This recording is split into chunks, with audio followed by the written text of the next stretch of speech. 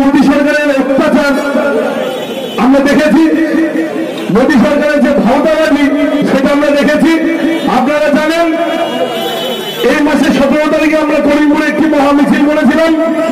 তার পরবর্তী কারণ কারণ হচ্ছে আমাদের নেত্রী, আমাদের যে নেত্রী রয়েছে মমতা বন্দ্যোপাধ্যায়, তাকে নিয়ে যদি কেউ কোনো কথা বলে, তার আজকে আপনার কিছু জানার অধিকার নেই। আজকে যে বিল স্বরাষ্ট্র দপ্তর থেকে যে বিল আনা হয়েছে, যাকে রয়েছেন বাংলার মানুষকে, ওটা তোমার ভয় করিস না, আমি তোদের সঙ্গে আছি। রবীন্দ্রনাথের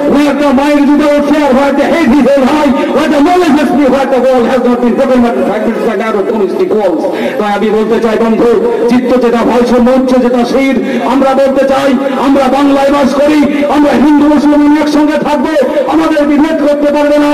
সবার কাছে শুধু একটা অনুরোধ, বন্ধু, অনেকে হয়তো ভাবছেন তৃণমূল কংগ্রেস শেষ হয়ে গেছে বিজেপি আঠারো আসনকে বাংলায় দখল করে ফেলেছে, না বন্ধু, না।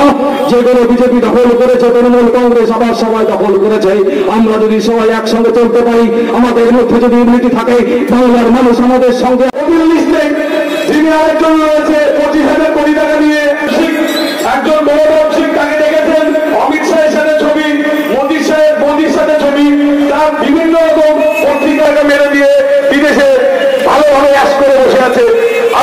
সাবস্ক্রাইব করুন, খবরের দর্পণ ইউটিউব চ্যানেলটিকে এবং পাশে থাকা বেল আইকনটি প্রেস করুন। নতুন খবরের আপডেট প্রতিনিয়ত পেতে।